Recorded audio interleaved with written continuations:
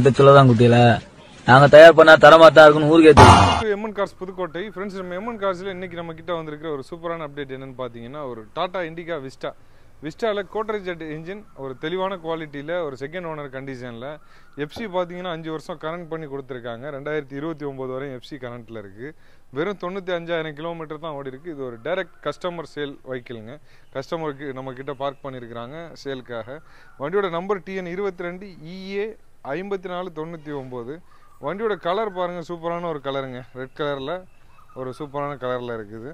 வண்டியோட tyre point எல்லாமே பார்த்தீங்கன்னா அபோவ் எயிட்டி பர்சன்டேஜ் கண்டிஷனில் ஃப்ரண்ட்லையும் ரியரில் பார்த்தீங்கன்னா ஃபிஃப்டி பர்சன்டேஜ் கண்டிஷனில் ரியர்லையுமே வந்துடுது பாடியில் சின்ன சின்ன ஸ்க்ராச்சஸ் இருக்குது மற்றபடி டென்ட்டு வேறு எதுவும் ஆக்சிடென்டல் ஹிஸ்ட்ரி இந்த மாதிரி எதுவும் கிடையாது.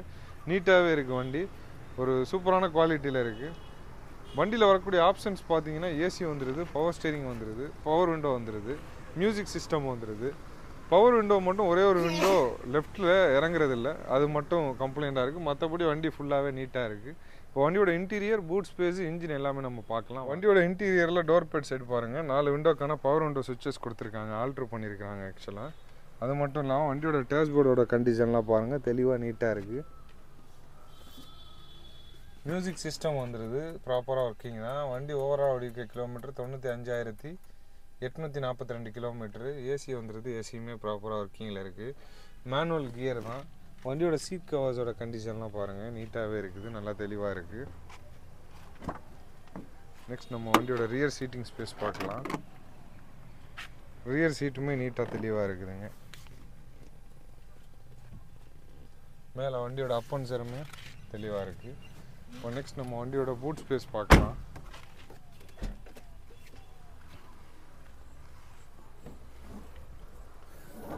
வண்டியோட பூட் ஸ்பேஸ் பாருங்கள் நல்ல ஒரு ஸ்பேசஸ் வந்துடுது ஒரு நிறைய திங்ஸ் எல்லாம் நம்மளால் கேரி பண்ணிட்டு போக முடியும் அந்தளவுக்கு ஸ்பேசஸ் வந்துடுது அது மட்டும் இல்லாமல் ஸ்டெப்னி பார்த்தீங்கன்னா ஸ்டெப்னி ஆவரேஜான கண்டிஷனில் தான் இருக்குது ஸ்டெப்னி ரொம்ப நல்ல குவாலிட்டியில் இருக்குன்னு சொல்ல முடியாது.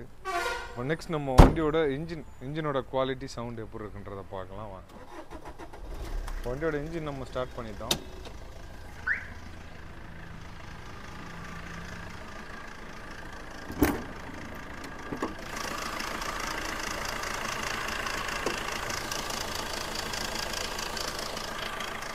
வண்டியோட இன்ஜின் இப்போ ஸ்டார்ட்டில் தான் இருக்குது ஒரு சூப்பரான குவாலிட்டியில் இருக்குது இன்ஜின் கண்டிஷன்லாம் ஒரு சீல்டு இன்ஜின் கண்டிஷன்லேயே இருக்குது வண்டியோட ஆப்ரான் சைட்லாம் பாருங்கள் ஒரிஜினாலிட்டி கலையாத ஆப்ரான் தான். அடிபாடெலாம் எதுவுமே இல்லாமல் ரீப்ளேஸ்மெண்ட் ஆகாத வண்டி. வண்டியோட இன்ஜின் நாய்ஸ் நான் உங்களுக்கு மைக்கை பக்கத்தில் வச்சு காட்டுறேன்.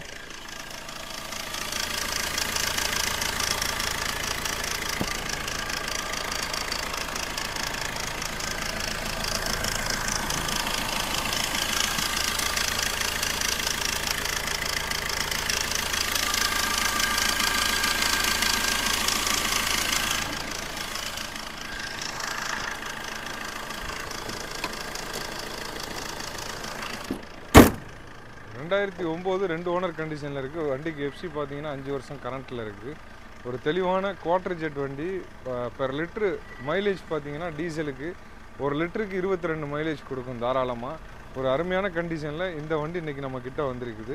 இந்த வண்டிக்கு நம்ம கோட் பண்ணக்கூடிய ரேட் பார்த்தீங்கன்னா நம்ம இல்லை கஸ்டமர் கோட் பண்ணக்கூடிய ரேட் பார்த்தீங்கன்னா ஒரு லட்சத்தி அறுபத்தி அஞ்சாயிரம் ரூபா இந்த ரேட் கண்டிப்பாக கஸ்டமர்கிட்ட பேசி டேரெக்டாக உங்களே பேச வச்சு குறைச்சி கொடுத்து எடுத்து கொடுத்துடலாம். கண்டிப்பாக இந்த வண்டி உங்களுக்கு பிடிச்சிருக்குன்னு நான் நம்புகிறேன் அந்த வண்டி உங்களுக்கு தேவைப்பட்டால் உடனே நம்ம எம்என் கார்ஸுக்கு ஒரு கால் பண்ணிவிட்டு டேரெக்டாக விசிட் பண்ணுங்கள் வண்டியை ஓட்டி பாருங்கள் வண்டி பிடிச்சிருந்தா தாராளமாக பையர்கிட்ட செல்லர்கிட்டயே நீங்கள் வந்து டேரெக்டாக பேசி வண்டியை நீங்கள் எடுத்துக்கலாம். ஒரு தெளிவான வண்டிங்க. கண்டிப்பாக இந்த வண்டி உங்களுக்கு பிடிச்சிருக்குன்னு நான் நம்புகிறேன் தேங்க்யூ ஃபார் வாட்சிங் தேங்க்யூ நல்லா இருக்காப்பா.